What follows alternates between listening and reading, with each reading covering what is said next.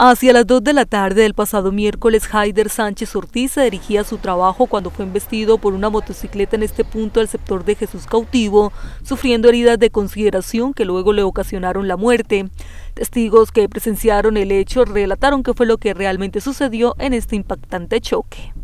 Iba, iba para su trabajo en su moto y venía otro muchacho de la luz polar hacia la vía de su cautivo y se, se omitió el, el padre que, que, tenía que hacer, el, en una moto, una Crichton. Las placas en este momento no las recuerdo, pero se omitió, se estrelló al, al, mucha, al, al, difunto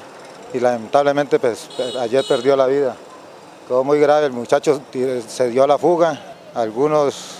alguien, yo personalmente lo fui y lo perseguí pero no le puede dar alcance, se tiró por las Mercedes y, se dio la fuga. Y estos son momentos donde no, no, no ha respondido ni siquiera la autoridad, porque son horas y la policía ni siquiera ha venido a, a preguntar qué pasó en la esquina de su cautivo. De inmediato los habitantes hicieron el llamado a la policía de tránsito que nunca llegó al sitio y la ambulancia atendió el caso después de 40 minutos, por lo que según testigos hubo negligencia. Se demoró aproximadamente 40 minutos con una mala atención, no sabían ni bajar la camilla de la ambulancia, la enfermera que venía no tenía la experiencia adecuada para, para un accidente. Eh, se lo llevaron y se lo, lo, al hospital directamente, lo llevaron a una clínica donde no, no le podían dar, una atención de la que él se merecía. Y a raíz de todo eso, yo creo que también eso fue causa de, de su muerte.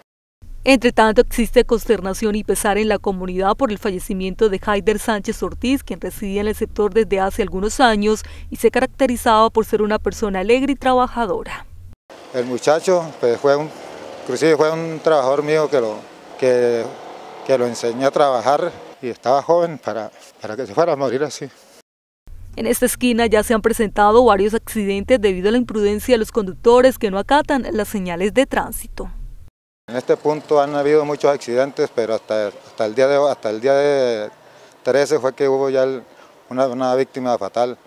porque aquí habían, habían habido accidentes, pero eran fracturas, se le ha llamado a la alcaldía, a varias alcaldías, colocan reductores de velocidad porque aquí esto lo toman como si fuera una, una pista de motocross. Los muchachos hoy en día no tienen, no tienen esa, esa prudencia para, para conducir las motos piensan que están forrados en, acero tal vez, que tienen una coraza de acero y, mira, y miren todo lo que está pasando hoy en día. En lo que va corrido de esta semana, dos personas han fallecido en accidentes de tránsito, por lo que se pide más controles a los conductores que transitan por la ciudad a alta velocidad y sin respetar las señales de tránsito.